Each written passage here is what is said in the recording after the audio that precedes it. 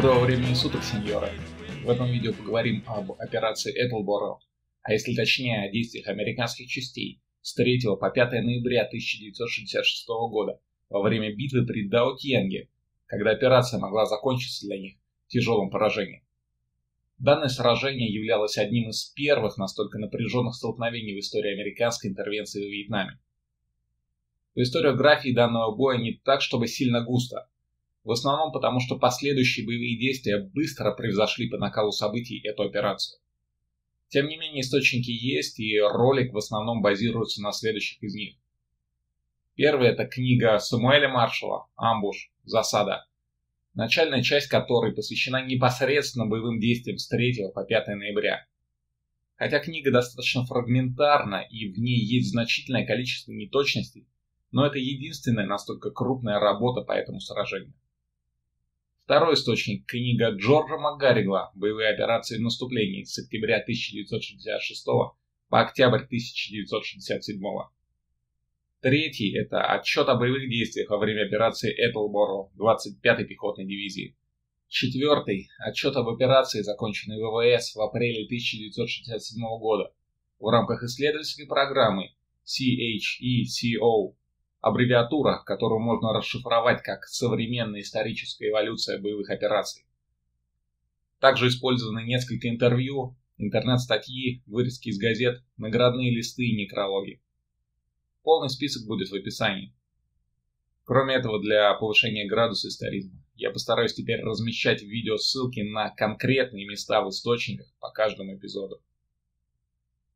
На этапе, который нас интересует, с американской стороны в операции участвовала 196-я пехотная бригада в составе 2-го батальона 1-го пехотного полка, 3-го батальона 21-го пехотного полка и 4-го батальона 31-го пехотного полка, а также временно приданного бригаде 1 и 2 батальонов 27-го пехотного полка из 25-й пехотной дивизии.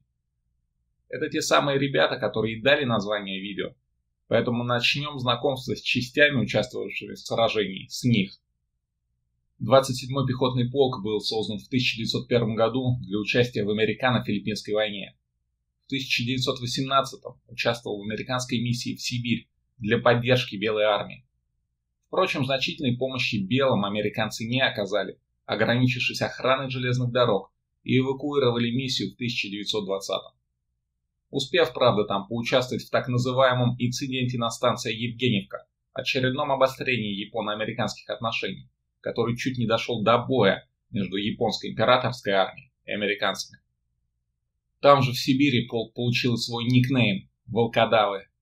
Уже после возвращения на родину у них появился и маскот – русская борзая по имени Колчак, названная, как можно догадаться, в честь адмирала Колчака.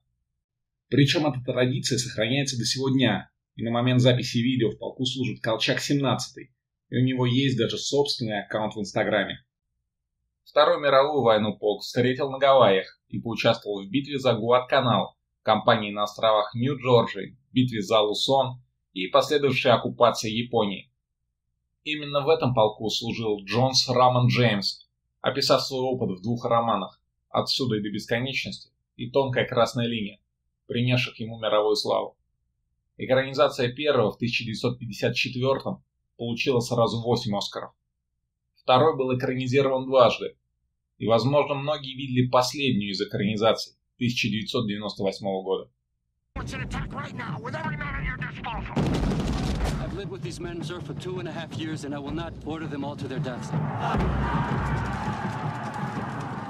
В Корейской войне полк засветился практически с самого начала американской интервенции и отличился во время операции Thunderbolt, когда капитан Льюис Миллет повел свою роту в атаку на высоту 180 близ Аньяня, что стало последней крупной штыковой атакой в американской истории. На захваченной позиции американцы насчитали более 50 мертвых солдат противника, 20 из которых были заколоты в бою. Во Вьетнамской войне полк участвовал с января 1966 и побывал во многих боестолкновениях различного масштаба и интенсивности. Майкл Викон, бывший командиром роты 27-го полка в 1968 году, издал в 2020 году книгу «Сыны Колчака». И хотя она не имеет отношения к операции Этлборо и посвящена действиям батальона во время Тетского наступления. Именно ее название я украду, точнее позаимствую, для этого видео. Пройдемся по остальным подразделениям. Первый пехотный, как можно легко догадаться, не ведет свою историю от первого пехотного полка, организованного после американской революции, так как тот стал третьим пехотным, а происходит от второго пехотного, который только затем был переименован в первый.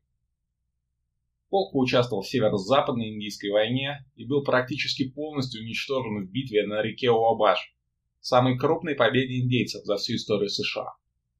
Затем участвовал в войне 1812 года, американо-мексиканской войне, гражданской войне в США, американо-испанской и американо-филиппинских войнах.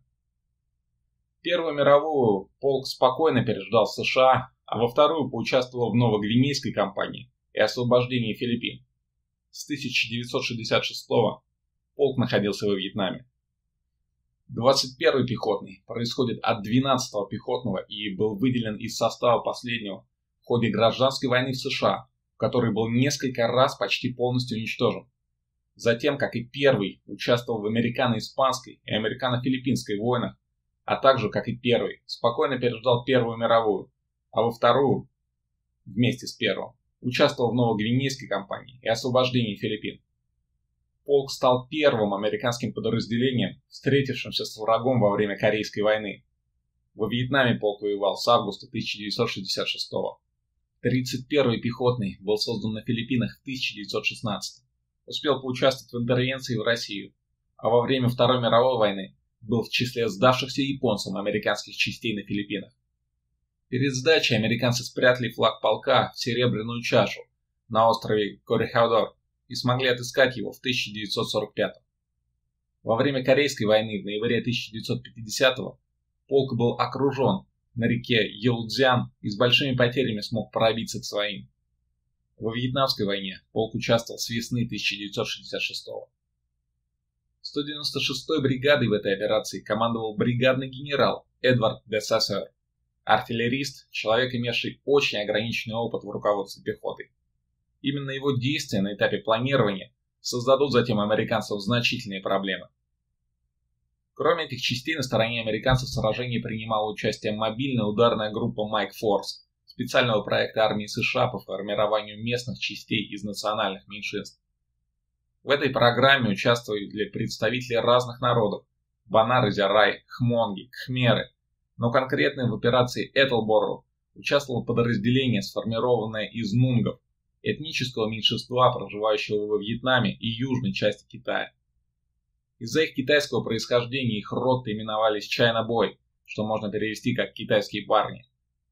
Каждой роте было несколько американцев из числа зеленых беретов. Пехотинцам в этой операции противостояли части 9-й пехотной дивизии под командованием старшего полковника Хуанга Кама, я уже рассказывал об этой дивизии в видео о битве при Онгтхане.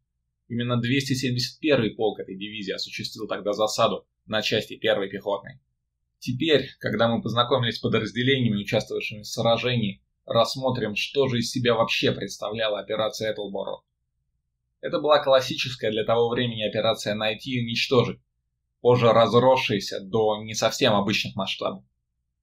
Изначально ее цель состояла в обнаружении и уничтожении противника к северо-западу от Сайгона, в районах вокруг города Тайнинь в одноименной провинции, а также прилегающей к ней части провинции Биндуонг.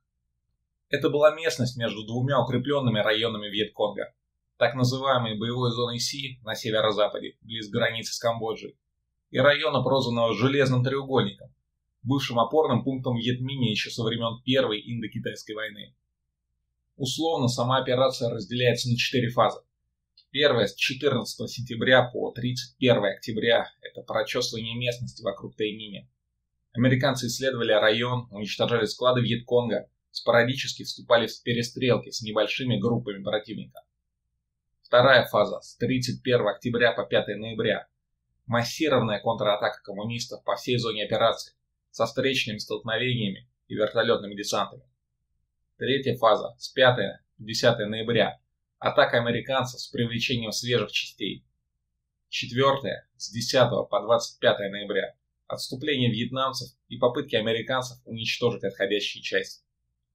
Что интересно, примерно в то же время, когда американцы начали операцию Этлборо, вьетнамцы готовили свою наступательную операцию в этом районе. По плану, 3 ноября они планировали атаковать лагерь Тайнини-Запад, где располагался штаб 196-й пехотной, город Суэкао и лагерь специальных сил Суэда. Операция Этлборо заставила коммунистов изменить планы, однако накопленные для этих планов ресурсы были использованы и поставили американцев на грань поражения 4 ноября 1966 30 октября части 196-й бригады и 27-го полка достигли лесистой местности к северо-западу от Даутьенга, которая скрывала основную базу 9-й пехотной дивизии, аккумулирующую силы для предстоящего ноябрьского наступления. Учитывая обстоятельства, командование коммунистов решило перенести удар с ранее намеченных целей на подразделение 196-й бригады и 27-го пехотного полка. До 3 ноября американцы, практически не встречая сопротивления, продвигались по южной кромке лесного массива. Им удалось обнаружить достаточно большое количество схронов коммунистов, причем объем найденного риса был такой, что пехотинцы не смогли эвакуировать его вертолетами, и большую часть пришлось сжечь. Генерал де Сессор не предполагал сильного сопротивления вьетнамцев и спланировал крупную операцию, чтобы одним ударом очистить местность, примыкающую с юга к шоссе 19, к северо-западу от Дао-Тьенга. Для этого роты Си-127, роты A, B и C 2-1, а также рота A4-31 должны были атаковать на север, выступив своего рода молотом, в то время как рота B-127 и оставшиеся роты 4-31 должны были блокировать вдоль шоссе 19 возможное отступление вьетконговцев, выступая в роли наковальни. Проблема была в том, что молот был достаточно хлипкий.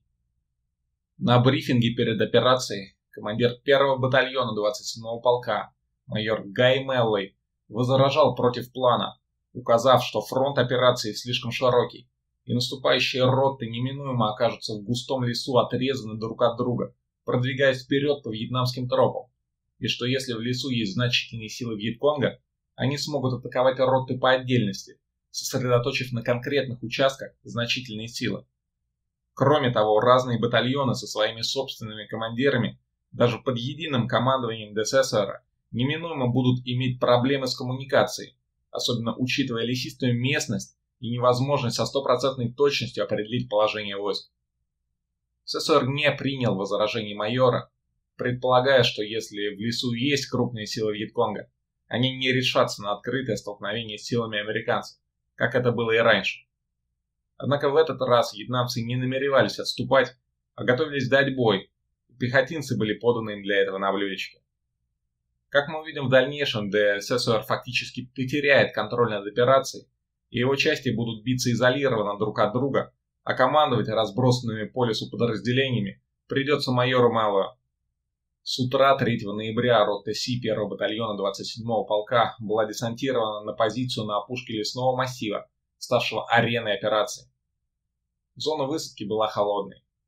Командир роты капитан Фредерик Хендерсон, собрав своих людей, двинулся вперед, к джунглям, по затерянной в зарослях слоновой травы тропе, уходившей прямиком в лес. Пехотинцы продвинулись немного вперед, и Хендерсон приказал роте остановиться – отправил фронтом вдоль тропы передовые дозоры, чтобы обезопасить свои фланги при дальнейшем наступлении. Американцы приблизились к опушке, когда воздух взорвался первыми выстрелами винтовок. Капитан Хендерсон связался с Мэллоем и передал «Мы под легким снайперским огнем». В это же время лейтенант Крум, артиллерийский наблюдатель, находившийся в передовых порядках роты Си, сообщил по радио «Мы под тяжелым вражеским огнем». Фактически, дезавуировав доклад своего командира, за что был отчитан. Когда спустя несколько секунд он спросил, вызвать ли артиллерию, Хендерсон ответил, это легкий контакт, и рота может справиться с ним сама. Таким образом, арт-огонь не был вызван в самый подходящий момент, когда вьетнамцы перебрасывали свои силы к первой линии обороны.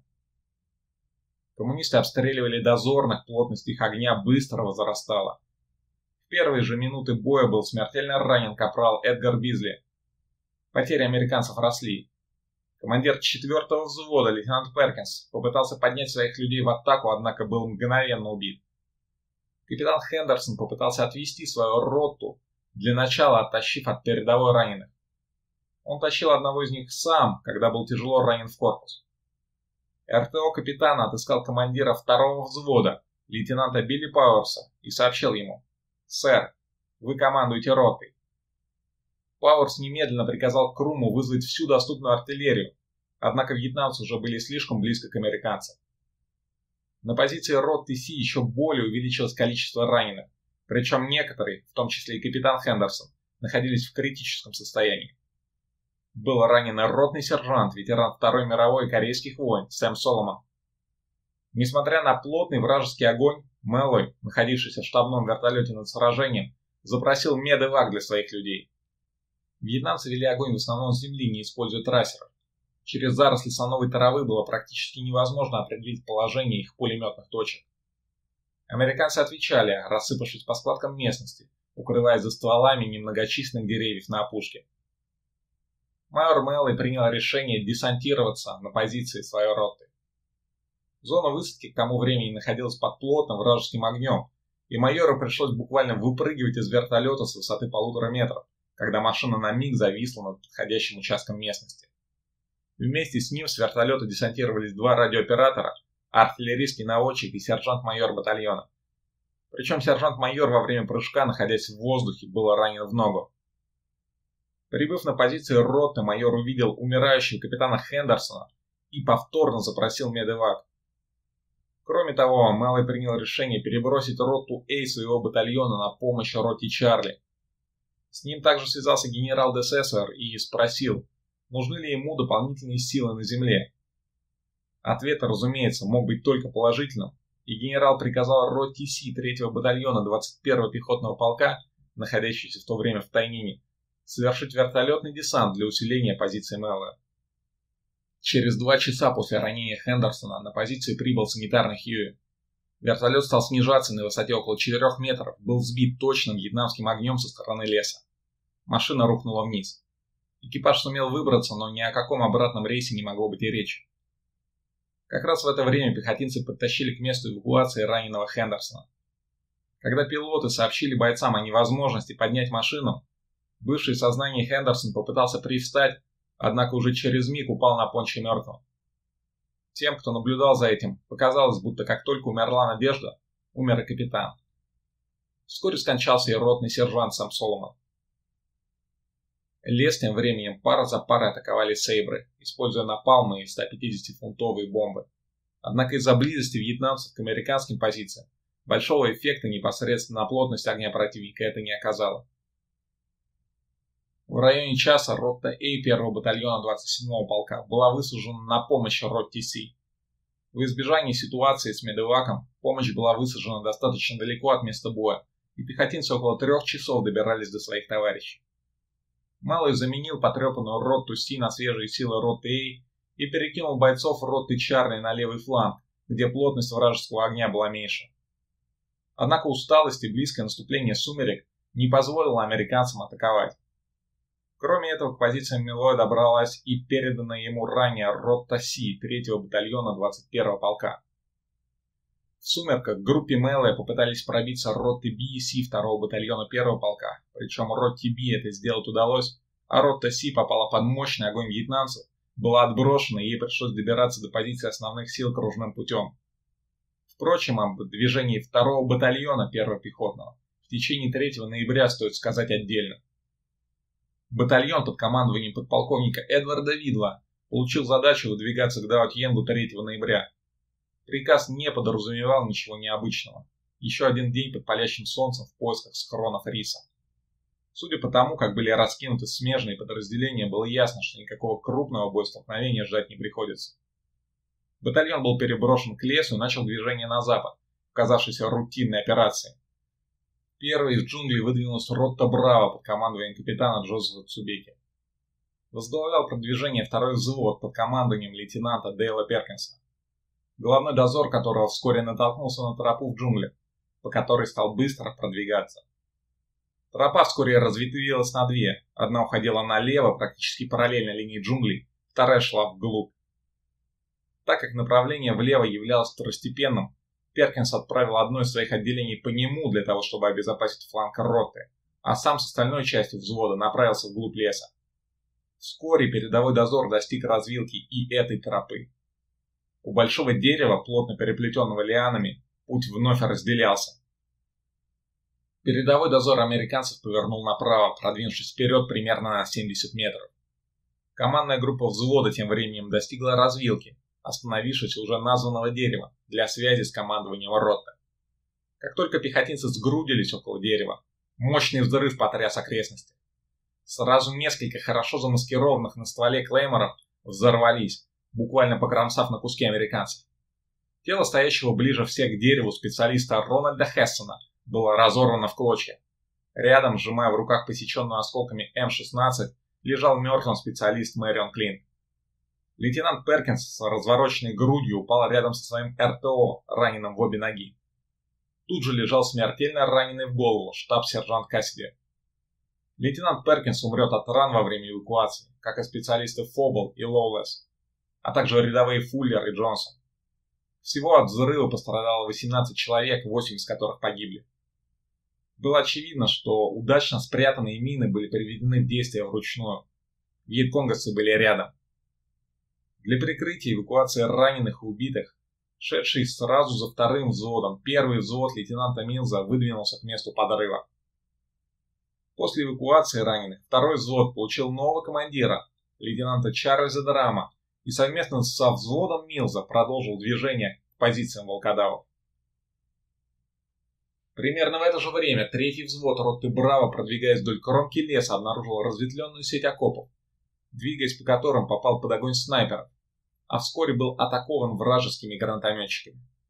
Потеряв пять человек ранеными, американцы отошли и вызвали авиаудар, после которого вновь двинулись вперед, обнаружив окровавленные бинты и следы, но никаких тел. Ротта Си под командованием капитана Джеймса Томпсона тем временем продвигалась параллельно Ротти Б во главе со своим первым взводом, который вскоре, выдвинувшись на небольшую поляну в джунглях, попал под плотный огонь вьетнамцев. При помощи подошедших остальных сил роты американцам удалось отбросить вьетконговцев, потеряв несколько человек ранеными. В это же время генерал Сессуэр приказал подполковнику Уэдлу выдвинуться со своей ротой А вдоль леса к 4-му батальону 31-го пехотного полка под командованием подполковника Хью Линча. Достигнув дружественных частей, Уэдл по приказу Десессора передал под командование Линча свою роту. Сложилась парадоксальная ситуация. Пока роты Би и Си 2-го батальона 1-го полка продвигались без своего командира к частям 27-го полка, их командир, сдав свою роту А 31-му пехотному полку, оказался командиром батальона без, собственно говоря, батальона. Под вечер роты Би и Си получили приказ самостоятельно пробиваться к частям Малоя.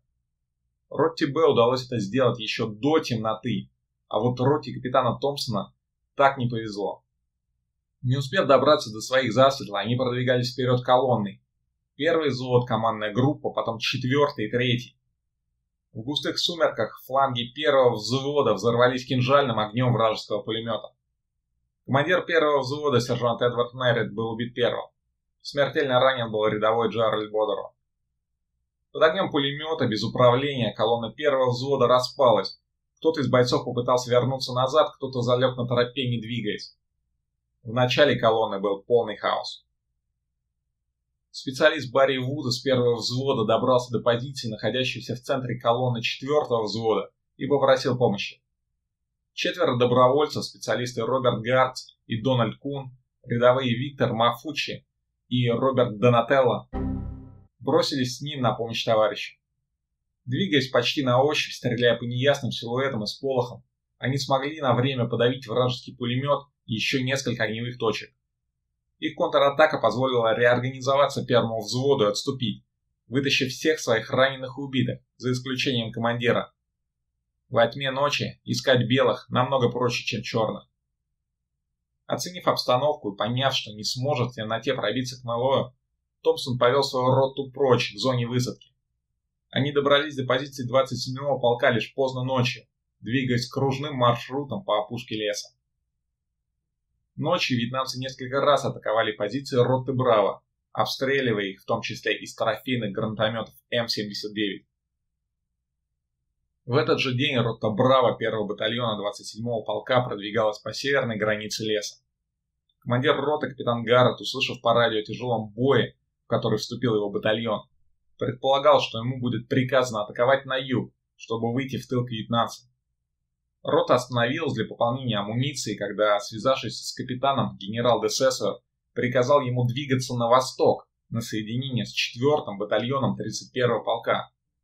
Гаррет ответил на это. «Сэр, это мой батальон находится в бою, а не 4.31. Мы должны помочь своим». Связь оборвалась, однако после пополнения припасов генерал вновь связался с капитаном и повторно приказал ему двигаться на восток.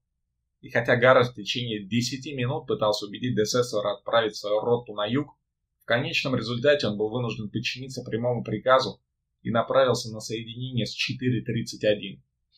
Майк Форс были высажены утром 3 ноября примерно в 8 километрах севернее расположения частей 27-го полка на шоссе 13. Рота 1 была высажена южнее, ближе к шоссе. Рота 3 севернее, на другой стороне лесного массива, скрывавшего базу врага. Продвигаясь по кромке леса, они обнаружили туннели и бункеры, а вскоре были атакованы примерно ротой коммунистов. С помощью авиаударов Нунгам удалось отбросить северо-вьетнамцев, потеряв лишь шестерых своих ранеными, одним из которых был сержант Джеймс Менехан. Американцы запросили медовак для раненых. Как это часто было принято во Вьетнаме, когда не было специально выделенных для эвакуации вертолетов, к зоне высадки перенаправлялся ближайший пустой вертолет, бывший в воздухе с достаточным количеством топлива.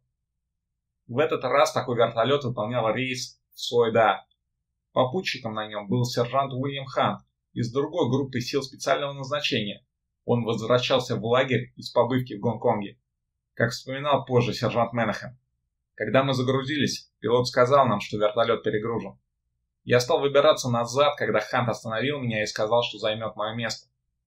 Я отдал ему свою амуницию. Моя винтовка была повреждена, и он взял карабин одного из раненых нунгов. Он попросил присмотреть за подарками, которые он вез семье из Гонконга. Это был последний раз, когда я его видел. Продвигаясь по кромке леса, ближе к вечеру, Майк Форс были еще раз атакованы примерно взводом противника. Однако быстро отбили атаку, потеряв еще одного из прикомандированных американцев раненым. Ночью 4 ноября вьетнамцы организовали мощный минометный обстрел американских позиций в Тайнине. Потери GI составили двух человек убитыми и 46 ранеными. С утра Малой планировал атаковать тремя ротами, своими Альфа и Чарли, а также приданные роты Си-21 полка на север. Две роты первого полка должны были вернуться и атаковать врага примерно по следам своей вчерашней атаки.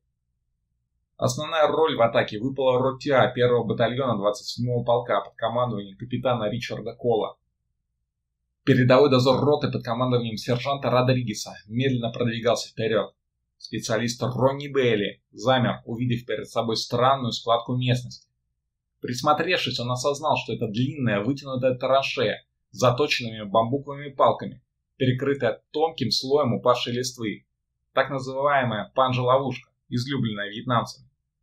Он успел окрикнуть Родригеса, и тот, продвигавшийся параллельно Бейли, успел затормозить буквально в паре шагов от капкана. Дозор остановился около ловушки. Пару секунд все было тихо, а затем воздух взорвался огнем двух пулеметов, нескольких калашников и разрывами гранат из ручного гранатомета М-79. Рядовой первого класса Брюс Кернелл упал замертво в двух шагах от Бейли. Вьетнамцы попытались уничтожить передовой дозор, однако американцы залегли, отвечая коммунистам огнем. В перестрелку вскоре втянулся весь первый взвод лейтенанта Рональда Бентона. Американцы попали под сильный минометный огонь.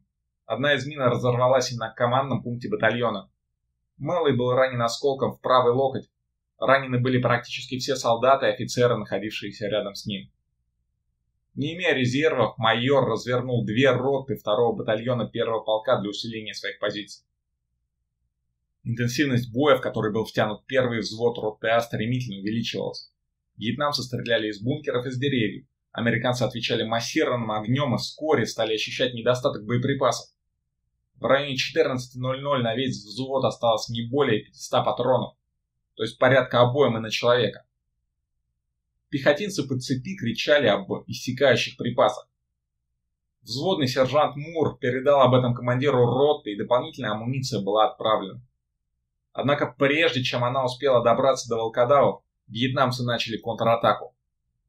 Услышали ли они возгласы солдат о недостатке боеприпасов, или момент просто совпал, однако вражеский удар застал американцев врасплох. Порядка взвода вьетнамцев атаковали практически в стиле банзай, массово бросившись на пехотинцев. И будь атака на 5 минут позже, когда у американцев совсем не осталось патронов, вьетконговцы могли бы полностью уничтожить взвод Бентона. Однако они поторопились, и волкодавам удалось расстрелять атакующих в плотном строю коммунистов. Примерно на час в бой наступило затишье. Американцы получили патроны. Вьетнамцы еще пару раз попытались атаковать позицию взвода, однако всякий раз были отбиты. Во время последней вьетнамской атаки рядом с сержантом Муром лежал рядовой Рассел Энкс, сын богатых родителей из Нью-Йорка.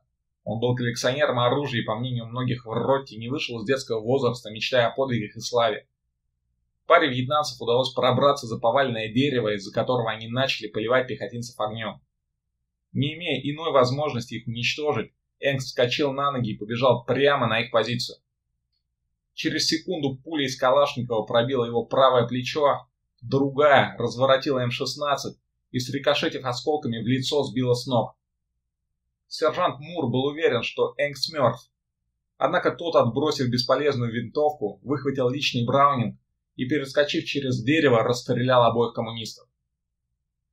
Рядовой вернулся к Муру, и когда тут позвал медиков, чтобы оттащить его в тыл, отказавшись от их услуг, самостоятельно направился на сортировочный пункт. Энкс будет награжден серебряной звездой, продолжит службу и будет убит 9 мая 1968 года. Наступал вечер, и хотя Ротиа не удалось сильно продвинуться вперед, она смогла устоять под атаками вьетнамцев, которые оставили сегодня на поле боя порядка 110 человек. Раненый днем майор Мэллоуи остался в строю и продолжал руководить сражением. Однако, когда в середине дня он получил информацию о том, что в помощь ему будет высажен второй батальон 27-го пехотного полка во главе с подполковником Барнетом, он предполагал, что сдаст тому командование и отправится в госпиталь. Ситуация, однако, обернулась иначе. Во-первых, высажена была лишь рота Си второго батальона с командной группой подполковника Барнета. Мэллой об этом не знал, так как из запутанного радиообмена он сделал вывод, что высажен целиком батальон. Причем эта ошибка станет для него ясна лишь вечером, когда под его командование поступит рота А второго батальона. Во-вторых, рота Си была легко нагружена по стандартам вьетнамской войны. Каждый солдат имел 140 патронов КАМ-16 с четырьмя гранатами и двумя дымовыми шашками. Гранатометчики несли по 40 зарядов к М-79. Кроме этого, каждый взвод имел 1000 патронов к М-60 и 4 мины Клейма. В целом, это была нагрузка для подразделения, не ожидавшего тяжелого боя. В-третьих, место высадки роты находилось в стороне от места сражения, и роте надо было добраться до позиции группы Мэллоя через густые джунгли. Как мы увидим, в дальнейшем сделать им этого не удалось, и рота оказалась в окружении под угрозой полного уничтожения. Вначале ничего не предвещало беды. Зона высадки роты была практически холодной. Кроме нескольких выстрелов вьетнамских дозорных, никакого реального сопротивления оказано не было. Американцы начали продвигаться в сторону основных частей первого батальона 27-го полка, однако примерно в 150 метрах от зоны высадки попали под вражеский огонь. Рота продвигалась дальше, вскоре натолкнувшись на сразу шесть костров походной кухни вьетнамцев. Над еще горящим пламенем висели котелки с рисом. Вокруг были вырыты окопы, американцы также обнаружили склад риса и американских же сухпайков. Стало ясно, что рота Си натолкнулась на вражеский лагерь. Командир роты капитан Карриер, оценив обстановку и поняв, что его солдаты фактически десантированы в центре лагеря крупного подразделения северо-вьетнамской армии, выдвинул вперед свой второй взвод и приказал, не обращая внимания на вражескую амуницию, продвигаться на соединение с силами первого батальона. Пехотинцы слышали впереди звуки вьетнамских пулеметов, обстреливающих первый батальон, и ответный огонь своих товарищей. Второй взвод вышел на большую поляну, отделявшую их от леса, за которым вел бой первый батальон. И хотя американцы находились совсем недалеко от основных сил Налоя, добраться до них им было не суждено. На открытом месте взвод попал под огонь двух пулеметов, к которым потом присоединилось несколько калашниковых. Пехотинцы были мгновенно прижаты к земле. Капитан Карриер выдвинулся вперед, чтобы лично оценить обстановку. Остается непонятным мотив дальнейших действий капитана. Недооценил ли он силы вьетнамцев или наоборот прекрасно понял, что если его роте не удастся прорваться к остальным частям, она может быть полностью уничтожена превосходящим противником. Как бы то ни было, он попытался поднять свою роту в атаку и взять вражескую позицию. Для этого он приподнялся, показывая пример своей роте. Сержант второго взвода Джеймс Кайлс попытался остановить своего командира. «Капитана, ради бога, не двигайтесь, здесь слишком плотный огонь!» Карьер не ответил. Попытался остановить его и сержант Флора Ривера. «Сэр, мы просто не сможем это сделать!»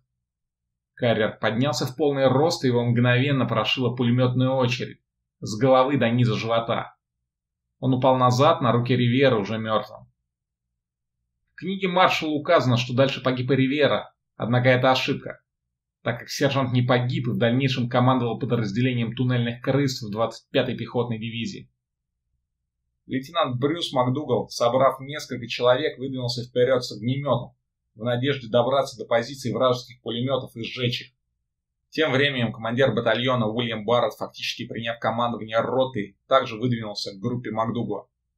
Он добрался до залегших американцев, которые следили через густую растительность за двумя вьетнамцами, одетыми в американскую форму.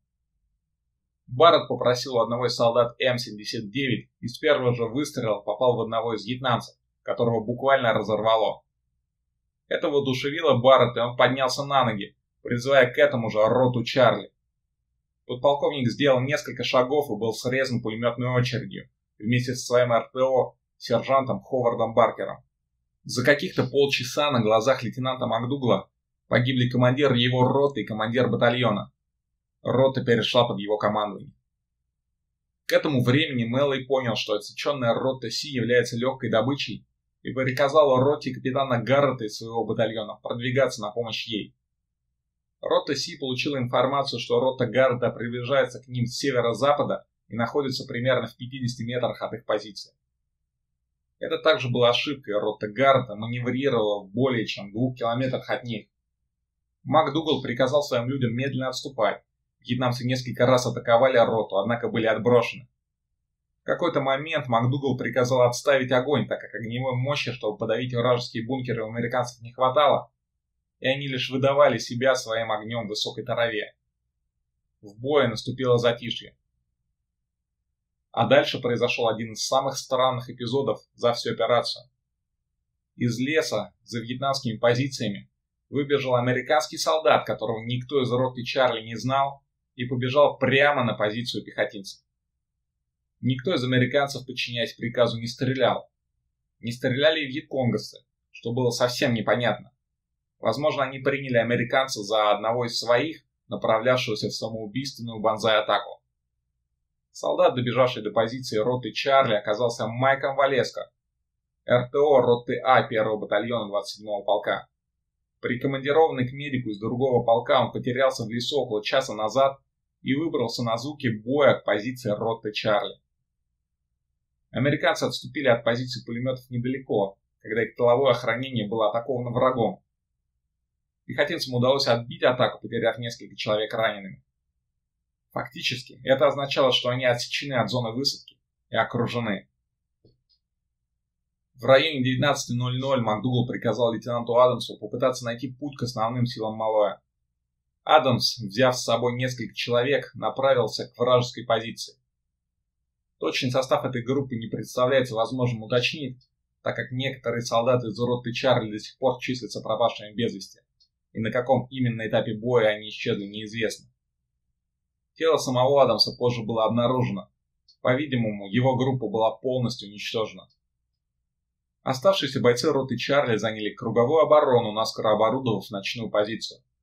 Несмотря на вражескую стрельбу и атаки небольшими группами, ночь для американцев прошла относительно спокойно, за исключением убитого снайпера, рядового Фонтанеза из третьего взвода деморализованная гибелью командования, большими потерями и ощущением того, что они отрезаны, рота представляла собой удобную цель для вьетнамцев. Однако то, что хорошо понятно нам сейчас, конечно, не было известно вьетконговцам, и они не решились на мощную ночную атаку отрезанной роты. Что интересно, большую часть времени на связи с Мэллоем был РТО командира батальона, специалист Уильям Уэллс. Лейтенант МакДугал же руководил непосредственно обороной. Это привело к тому, что командование посчитало, что МакДугал потерял управление ротой. После боя лейтенант был отстранен от командования, а пресса сделала из специалиста Уэллса героя, возглавившего разгромленный батальон, за что он был награжден третьей по значимости наградой в армии США – Серебряной звездой. А в номере от 29 ноября 1966 года ежедневной армейской газеты Stars and Stripes «Звезды и полосы» вышла большая заметка о нем. Позже, когда расследование показало, что лейтенант МакДугал не утратил командование, он был восстановлен в должности командира роты и также награжден Серебряной звездой. Тяжелый бой в течение 4 и 5 ноября предстоял Инунгам из Майк Форс. Утром первая рота попала на минное поле, потеряв одного бойца убитым и двоих ранеными. Вызванный медевак был сбит зенитным огнем, один из членов экипажа погиб. Вторая рота организовала оборону места падения и эвакуацию раненых. Но основные испытания выпали на долю третьей роты. В 14.45 они начали продвигаться вглубь леса, где атаковали вражескую базу, туннели и бункеры, обнаруженные вчера. Однако были отброшены массированным вражеским огнем и отошли на север, для ожидания авиаудара по обнаруженному противнику. После авиаудара в 16.30 они продолжили продвигаться на запад, на этот раз севернее позиции авиаудара, не встречая сильного сопротивления. В 18.00 рота остановилась для оборудования ночной оборонительной позиции. Одиночный Хьюи пополнил припасы нунгов и забрал раненых. В 18.30 на роту обрушилась атака двух рот вьетнамцев.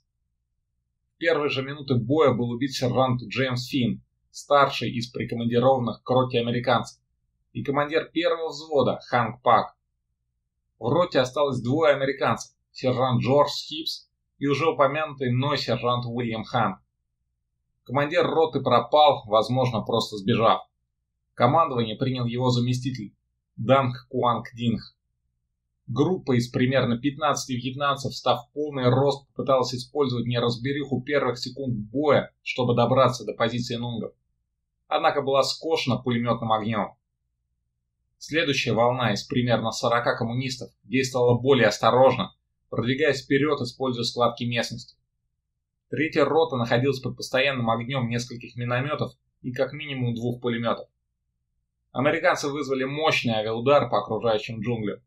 На вьетнамцев обрушились 250, 500 и 1000 фунтовые бомбы, напалм, кластерные бомбы и огонь ганшипов. Однако основные силы противника уже сблизились с нунгами.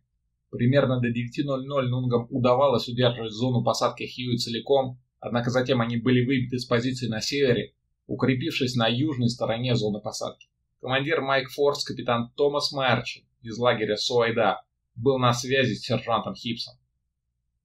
Он спросил Хипса, сможет ли тот разорвать контакт, на что получил ответ, что отойти с таким количеством раненых не представляется возможным. Марчин попытался направить на помощь третьей роте остальные части Майк Форс, находящиеся примерно в двух километрах. Однако преодолеть это расстояние по ночным джунглям не представлялось возможным. Капитан запрыгнул в вертолет и стал кружить над полем боя. Около 2.30 ночи Марчин получил от Хипса сообщение, что вьетнамцы прекратили огонь, однако Нунги слышат, как противник выполняет перегруппировку. Командир Майк Форс направил свой вертолет на базу Лайкхеа к единственному человеку, который, как он думал, может помочь его людям. Это был командир первой пехотной дивизии, генерал Уильям Депуи. В видео про засаду при Онгтхане я рассказывал о генерале Хэе, не самым толковым командире первой пехотной дивизии, получившим за тот бой незаслуженную награду. Его часто сравнивали с прошлым командиром, возглавлявшим дивизию, в том числе и во время операции Эпплборо, генералом Депуи, и сравнение всегда было не в пользу Хэя. Депуи был прирожденным тактиком и одним из лучших американских командиров Вьетнамской войны. Поступив в 1941 году в армию, он к 1944 году был лейтенантом в 90-й пехотной дивизии, с которой прошел путь от Нормандии до Орден, причем к 24 годам командовал батальоном и получил звание майора. При этом он отличался очень крутым характером и абсолютной нетерпимостью к некомпетентности, поставив своеобразный рекорд по увольнениям, освободив от командования за время Вьетнамской войны 56 своих подчиненных. Генерал спал, когда прибыл Марчин, однако без всякого сожаления был разбужен своими адъютантами. Надо сказать, что никакого прямого отношения Майк Форс к Депуи не имели. Они просто действовали в районе, смежном с зоной действия первой пехоты. Однако генерал согласился с первыми лучами солнца вылететь к месту сражения. Тем временем Хиль сообщил своему командиру по радио. «Я уверен, мы будем атакованы на рассвете, но я думаю, мы сможем выдержать удар». Марчин к этому времени поднял по тревоге еще одну из рот бывших его подчинений для прямого десанта утром на помощь осажденным. В 6.30 начало светать, а уже в 7.05 нунги заметили стремительно приближающихся вьетнамцев в черной форме. Хипс прокричал по радио. «Я под мощной атакой!» Сила вражеского удара была ошеломляющей. Уже в 7.12 от Хипса поступило последнее сообщение. «Мне нужны подкрепления. О боже, о боже, я должен получить подкрепление. Граната разорвалась на позиции сержанта, серьезно ранив его. Хан бросился к нему, оттащил в укрытие и занял его место у рации. Мерчен тем временем осознал, что рота, которая должна прийти на помощь нунгам, просто не сможет высадиться и будет уничтожена на посадочной площадке. Над полем боя тем временем появился вертолет генерала Депуи. Он связался с Хантом, и тот, как мог, описал царивший на земле хаос. Закончил он свою речь словами. Похоже, мы в центре вражеского полка. Через минуту радио захлебнулось, и Депуй услышал слова Ханта. «О боже, я ранен, я тяжело ранен, я умру». После этого радио замолчало. На генерала Депуи произвела большое впечатление гибель сержанта, с которым он говорил по рации. Именно тогда он принял решение вмешаться в операцию, хотя это была не его зона ответственности. Хант, однако, умер не сразу. Пуля попала в его правое плечо, прошла через легкое и засела где-то в спине. Он прислонился к дереву и сполз по стволу рядом с Хипсом. Оборона Нунгов к тому времени рухнула. Второй лейтенант Дан Куанг, собрав остатки роты, повел ее на прорыв через заслоны вьетнамцев на востоке. В жестоком, иногда почти рукопашном бою бойцам удалось прорваться сквозь вражеские позиции. К 11.30 лейтенант довел 55 человек к остальным ротам Майк Форс. Пытаясь уничтожить отступающих, вьетнамцы не прочесали поле битвы, проглядев раненых Хипса и Ханта, а также еще двоих легкораненых нунгов. Хипса привел в чувство Хант. Обсудив обстановку, они решили двигаться на восток, к остальным частям Майк Форс, по следам преследовавших их северо-вьетнамцев. Тяжело раненые, даже при помощи двоих нунгов, они ковыляли вперед, проходя за раз по 30-40 метров. В какой-то момент Хант остановился и сказал Хипсу, что не может сделать больше ни шагу. «Бросьте меня, уходите». Хипс попытался отказаться, однако всем было ясно, что это единственный шанс для него. Один из нунгов согласился остаться с Хантом, а Хипс, опираясь на второго, продолжил свой путь. Через 150 метров нунг, оставшийся с Хантом, догнал их и сообщил, что сержант умер. Хипс вскоре потерял сознание, Однако нунги смогли дотащить его до своих, и он был с первым же медеваком отправлен в госпиталь, все еще находясь без сознания. Тело Ханта никогда не было найдено, и он, несмотря на заявление видевшего его смерть Нунга, до сих пор числится пропавшим без вести. Ночью Малой попытался пробиться к отрезанной роте Чарли силами роты Си второго батальона первого полка, однако эта атака была отбита вьетнамцами. После катастрофы, случившейся с Нунгами, стало ясно, что в районе действуют значительные силы вьетконговцев.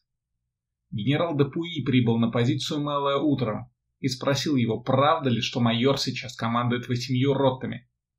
На это Мэллой ответил, что в данный момент, учитывая группу Гаррета, которую он поставил задачу продвигаться к своим частям с севера, под его командованием находится 11 рот, показав их положение на забрызганном собственной кровью планшете. Удивленный таким количеством сил, находившимся под командованием майора, Депуй спросил, когда он в последний раз общался с генералом Сессуэром. на что Малой ответил, что в последний раз беседовал с ним по радио 48 часов назад, а лично видел его вечером 2 ноября в Даутьенге перед операцией. Взбешенный, Депуи вскочил в вертолет, прибыл в Даутьенг, где у него состоялся тяжелый разговор с ДССР.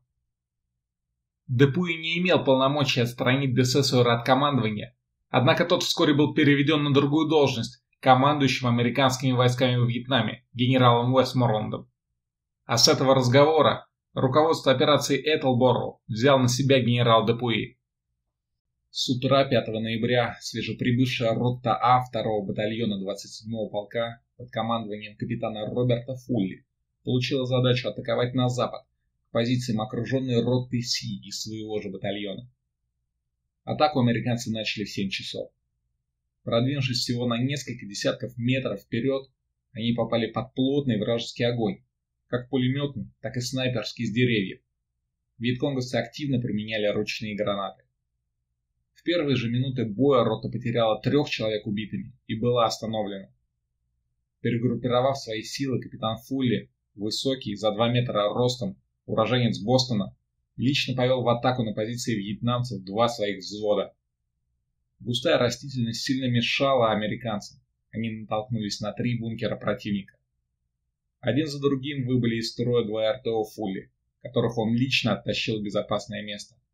А когда он вернулся на передовую, пулеметчик из его роты был ранен прямо у него на глазах.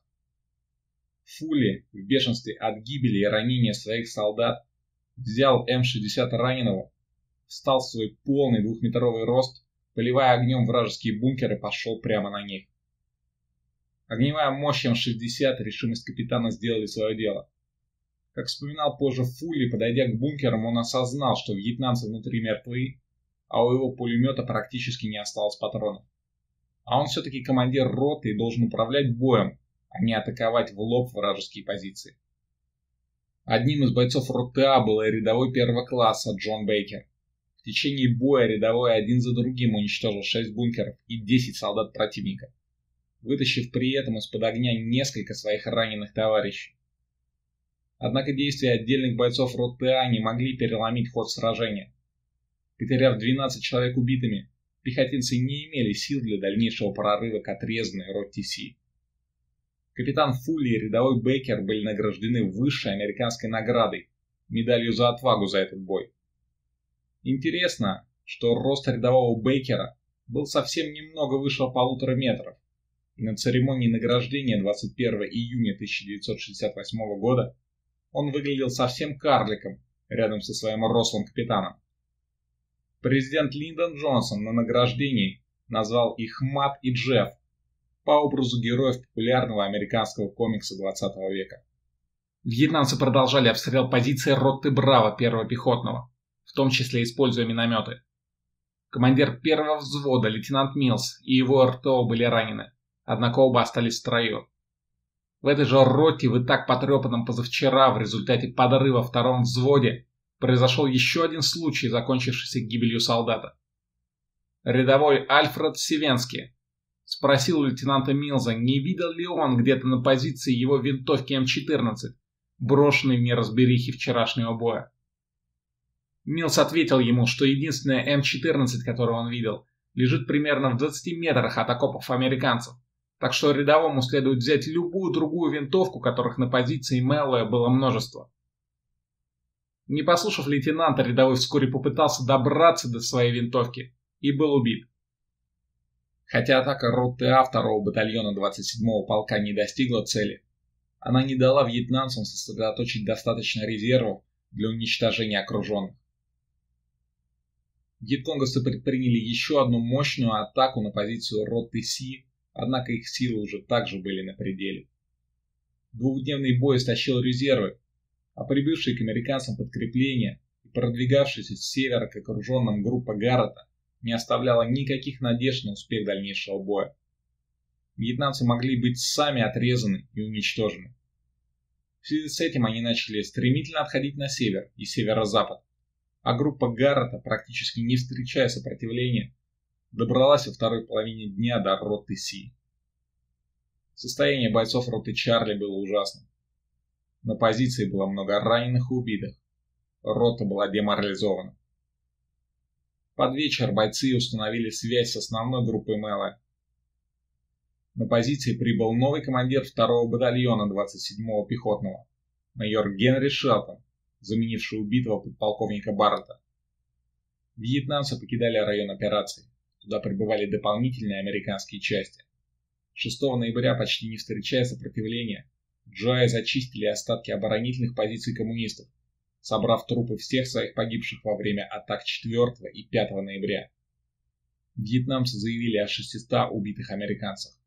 На самом деле потери пехотинцев были гораздо меньше, хотя также очень чувствительны для этого этапа войны. В течение трех дней Джай потеряли 60 человек убитыми и 159 ранеными. Потери вьетнамцев точно установить не представляется возможным. По данным американцев, к 25 ноября во всей операции Этлборо они потеряли более тысячи человек, только убитыми. Вследствие неудачного планирования операции 3-5 ноября, а затем и практически самоустранения от командования генерала ДССР, американцы в течение этих дней оказались в крайне тяжелом положении и в какой-то момент были близки к потере целой роты. Непонятно, почему части во время сражения были подчинены Мэллоу, так как он не был старшим по званию из всех командиров батальонов, принимавших участие в операции. Видимо, ДССР действовал по старой американской поговорке The horse that drove west is most white, что можно перевести на русский как «кто везет, того и погоняет». После 6 ноября генерал Депуи масштабировал операцию, активно применяя новые части для атаки и преследования противника. Возможно, когда-нибудь я расскажу отдельно о следующей фазе операции Эпплборо, однако само сражение при Даутьенге было окончено. Если рассматривать операцию Этлбору в целом, то можно сказать, что начавшаяся как достаточно рутинная, она по воле случая сорвала планы Вьетконга по массированной атаке на объекты в провинции Тайнинь и вылилась в крупное встречное столкновение, закончившееся, благодаря превосходству в огневой мощи, победой американцев. Генерал Депуи умер в 1992 году, генерал Десессор в 2002, генерал Меллы в 2013, генерал-лейтенанту Роберту Фуллию командовавшему ротой А 2 батальона 27-го полка и получившему медаль за отвагу за этот бой. На момент записи этого видео 79 лет. В 1985-м значительная часть местности, где происходили бои в ноябре 66-го, была затоплена в рамках строительства водохранилища Даотьенг. И сейчас над местами ожесточенных боев и над могилами погибших солдат плещется вода. Такова была история сражения при Даутьенге с 3 по 5 ноября 1966 года.